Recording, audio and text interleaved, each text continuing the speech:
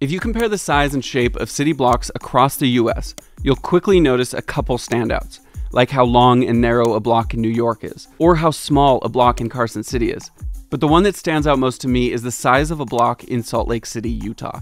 This is the largest city block in the country and maybe the world. It's not just the city blocks that are massive. The streets here are so wide that they give us these bright flags so that we can cross them safely. At 132 feet wide, these are the widest streets in the United States. I mean, look at this. They're freaking huge. But when I started looking into why the blocks and streets are like this, I found that it was inseparably linked to the reason the city was built here in the first place. If a city is more than just an accidental accumulation of people, if there's a degree of intentionality about it at all, its location within a larger landscape, the design of the streets and blocks, all of those things say something about the people who live there. So while the map of Salt Lake City might just look like a simple grid, it's unique not only in its proportions, but in the deep spiritual meaning tied to its origin.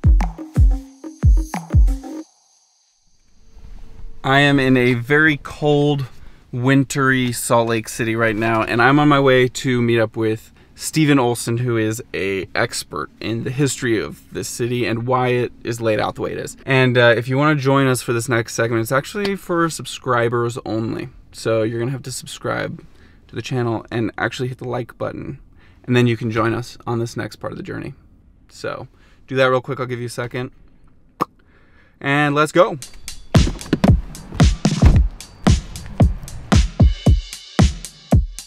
Happy New Year. Happy New Year. if you're watching this and you're thinking, oh, he should have filmed this in the summer when the weather's nice, so it looked pretty. Yeah, I wish I was too, because it's cold. Okay. The story of Salt Lake City is really the story of two separate groups with separate ideals trying to both run this same place. One of them was the settlers, the Mormon settlers, who had a very specific ideal of the social dynamic and how the government would run here, being a theocracy very tied to their religion. And the other was the federal government of the United States, who wanted to make this part of the US run like the rest of the United States. And this tension is still evident in the physical layout of the city. That's a beautiful view, though, huh? It is. And I think it's not accidental. It's a constant reminder that secular government prevails here. A key figure in the story of Salt Lake City is Brigham Young, the leader and prophet of the Church of Jesus Christ of Latter day Saints, or Mormons. In 1847, he led the Mormon pioneers from Illinois across the plains until they came to what is now Emigration Canyon and overlooked the Salt Lake Valley for the first time. And he said, The Spirit of the Lord came upon him, and he is reported to have said, This is the place drive on. And so this monument uh, may not be in exactly the same spot where Brigham Young had this impression, but it's to celebrate that grand occasion. It's important to understand the goal of the Latter day Saints, who I'm just going to refer to as the Saints.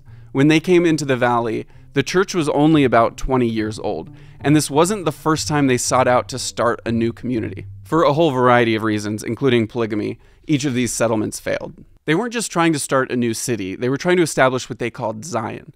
And this was an entirely new way of living, where everything was integrated from the social order of their society to the physical layout of their city. There was a sense that uh, they were establishing the kingdom of God, which would transcend but not destroy the kingdoms, the nations of the earth. And the physical landscape of the Salt Lake Valley held symbolic meaning for this mission, a huge symbol being the Great Salt Lake. One of the saltiest places on the planet, and it's connected to a freshwater lake further south of here by this river. Well, what did they call the river? The River Jordan, or the Western Jordan, to complement the Eastern Jordan in Palestine that connects the Sea of Galilee with the Dead Sea. Beyond religious significance, there was one more advantage a political one. This is a map of the United States from 1847, and right here is where Brigham Young declared this is the place. The Salt Lake Valley was part of Mexico. And this space was kind of a neutral space between native groups to the north, mostly Shoshones, and native groups to the south, mostly Utes. And so they felt like they could just kind of work their way into and settle this place and, and keep friendly relations with the surrounding native tribes. I filmed this video in a very cold, wintry, snowy Salt Lake, and at a time where the Salt Lake Temple is under renovation, so it's covered in scaffolding right now. But I can show you a bunch of footage of beautiful, warm Salt Lake City, Utah, and the temple without the scaffolding, thanks to today's sponsor, Storyblocks. Storyblocks is a website where you can get unlimited stock media for one flat price. Whether you pay monthly or annually, you can get access to their entire library of diverse, high quality 4K footage, or their audio library or their After Effects templates. They also have plugins for After Effects and Premiere. So just within Premiere, I don't even have to leave my editing software. I can type in Salt Lake City Temple and boom, I have all the footage that I need to show you guys the centerpiece of this story. I've been using Storyblocks for years, and they've become an essential part of my workflow and process in making these videos. So if you want to get started with unlimited stock media downloads at one flat price, go to storyblocks.com slash Daniel Steiner or click the link in the description below. Thank you so much to Storyblocks for sponsoring this video, and let's get back to the story of how Salt Lake's map came to be. By settling in the Salt Lake Valley, Brigham Young hoped that they could build enough power and autonomy to have their own territory and run it as they pleased. So construction of their new city began.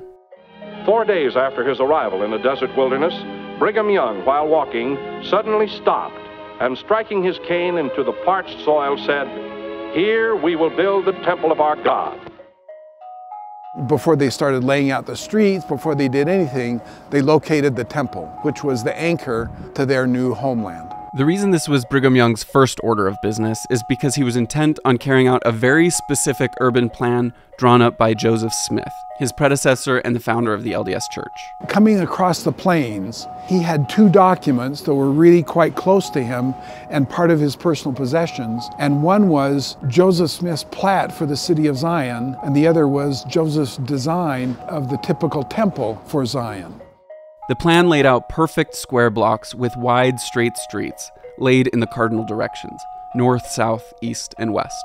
It marked out one square mile of Joseph Smith's vision for the future city of Zion. At the center of it was the temple. There were a couple versions of the plat of Zion, and this one had 24 temples in the middle, but they all had slightly different purposes. So the temple that we see today kind of takes the place of all of them. So when the pioneers got to the Salt Lake Valley, this is exactly what Brigham Young set out to do.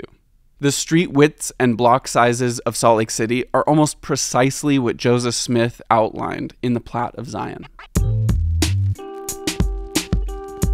And this area, or Plat, is where Brigham Young began. With the temple in the center, all streets indicate their distance from it with their name the streets around it being North, South, East, and West Temple. Then the names of the streets count up by 100 for each block further from the temple they get, succeeded by the accompanying direction. So this would be 100 South, 200 South, 300 South, and so on. So basically, no matter where you find yourself in the city, and not just in the city, but in the whole Salt Lake Valley, you know your distance from the temple based on your address. The beginning of the layout of Salt Lake City as a capital was from the southeast corner of Temple Square. It's commonly said that Brigham Young made the streets so wide so that a horse and wagon could turn around with ease in the street. But when I asked Stephen Olson about it, this is what he said. It had that value, but that was not the purpose, not at all. There were all sorts of, of pragmatic benefits for wide and straight streets. Transportation was one of them. Another one was a fire that plagued many American cities at the time couldn't hop the width of the streets, and so fires were naturally contained. So there were all sorts of pragmatic values, but the primary value was spiritual or symbolic in the sense that it reflected a kind of order and design for the heavenly Zion that he was replicating on earth so that the two could come together and be united. One thing that will come into play is that Joseph Smith's Plat of Zion and subsequently Brigham Young's plan for Salt Lake City really left no room almost for government buildings. All of the public buildings in Zion were called temples, and over the entrance to these various public buildings was the phrase, Holiness to the Lord. The city was designed to be lived in by a theocracy, and that's exactly what they were doing. Brigham Young wasn't only the prophet of the saints, but he was also their governor. But if you look closely at the map, you'll actually see that it's a series of grids. Because of rapid immigration, a plat to the east and a plat to the west were added in the same pattern, while south of 900 South was designated as the Big Field, which was intended for agricultural purposes, but was later developed into suburbs. This is why the parks in the downtown area conform to the square blocks outlined in the Plat of Zion, while Liberty Park, whose northern end is 900 South, shows the scale of a block in what was the Big Field. And on the north end are the avenues. This is where the foothills interrupt the standard block size, so this became a residential area made up of much smaller blocks.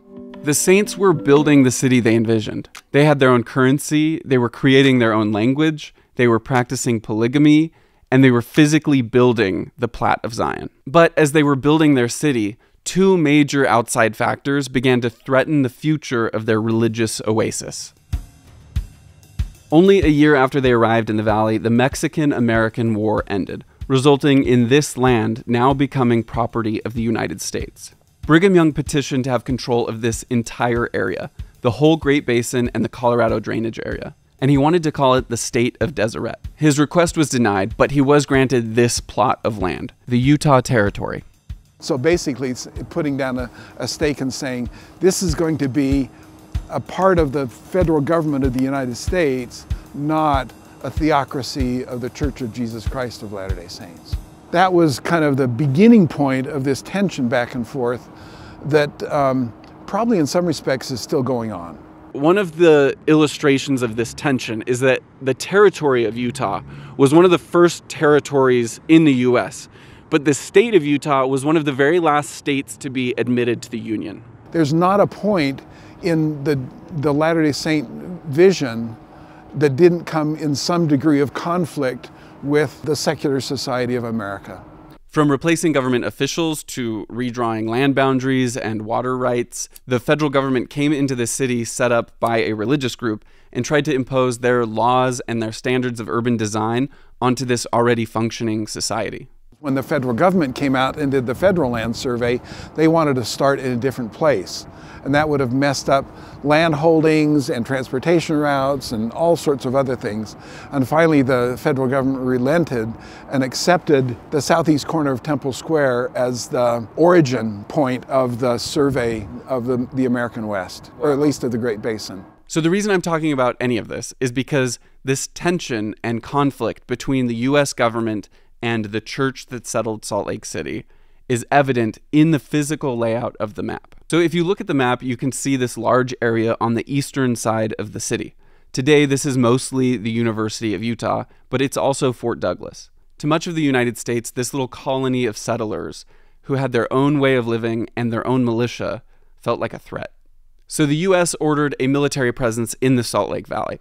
And it's often said that this is the only fortress in the country that is pointing at its city. But apart from political reasons, there's one more thing that changed the character of Salt Lake City forever.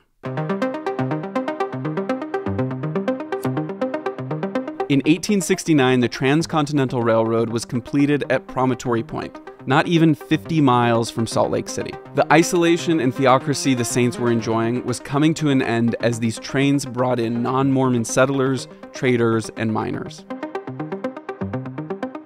and you can still see the main depots that are still part of the urban landscape of Salt Lake City. As the presence of the United States government increased in Salt Lake, the city and county building was constructed intentionally away from Temple Square to shift the center of gravity in the city away from the Mormon center. Just after this building's completion, the state of Utah was admitted to the Union as the 45th state and plans for a Capitol building overlooking the city began. It was positioned on the opposite side of the temple. With the completion of the Capitol and the renaming of 100 East to State Street, the presence of the federal government now surrounded the religious downtown. And those secular institutions kind of serve as a perimeter around the Mormon uh, city of, of Salt Lake City. As the years have gone on, the city has grown dramatically. The LDS population is still very prominent in the city, but it is now the minority. And as more and more people move in from out of state, this tension, especially in regards to church influenced laws, still is playing out. Thank you so much for watching this video. We just passed 20,000 subscribers on this channel, which is crazy. So if you liked this, please hit the like button, subscribe to the channel. If you're already subscribed, thank you so much. It really does mean the world.